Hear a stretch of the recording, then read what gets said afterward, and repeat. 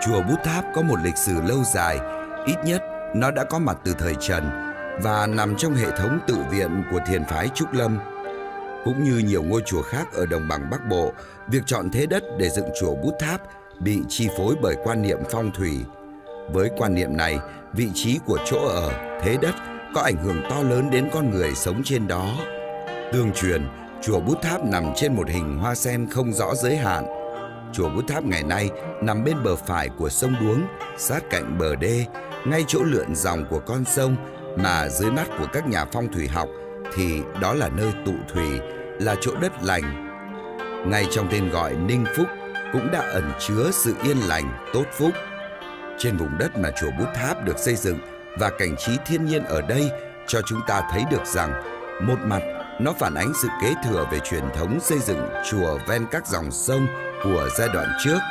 Mặt khác, thể hiện ước vọng sao cho Phật Pháp được bền lâu, nhà tu hành được yên nghiệp, tâm linh sáng suốt để mau chóng đạt được chứng quả.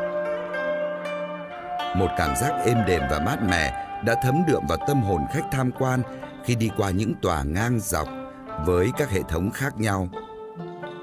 Theo thư tịch cổ, chùa Bút Tháp có tên là Ninh Phúc Tự, vốn được khởi dựng từ lâu đời. Vào thời Trần là nơi trụ trì của thiền sư Huyền Quang, tổ thứ ba của thiền phái Trúc Lâm. Đến thời Lê Trung Hưng, chùa Bút Tháp được vương hầu quý tộc triều đình Lê Trịnh hưng công trùng tu và mở rộng với quy mô rất lớn theo kiểu chùa trăm gian với tòa ngang dãy dọc, chạm khắc lộng lẫy, tinh xảo, nghệ thuật. Cũng qua văn bia của chùa, cho biết tên những quý tộc triều đình có công trong việc hưng công trùng tu chùa Bút Tháp như Hoàng Thái Hậu Trịnh Thị Ngọc Trúc, công chúa Lê Thị Ngọc Duyên, quận chúa Trịnh Thị Ngọc Cơ, quận chúa Trịnh Thị Ngọc Mai, Ninh Lộc Hầu Lê Vịnh.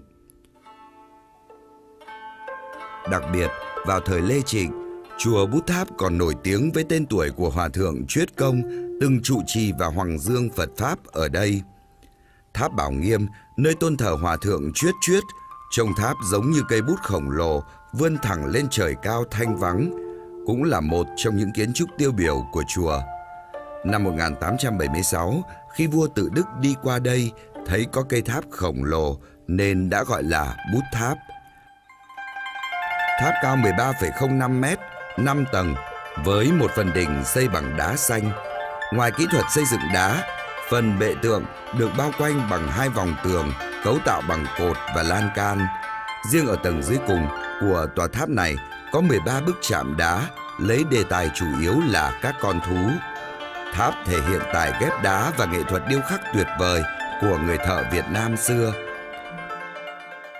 Một trong những biểu tượng chính của tỉnh Bắc Ninh đó chính là cây tháp đá báo nghiêm. Tháp được thiền sư Minh Hành cho xây dựng để thờ thầy của mình là thiền sư Chuyết Chuyết vào năm 1647 và đặt tên là tháp báo nghiêm.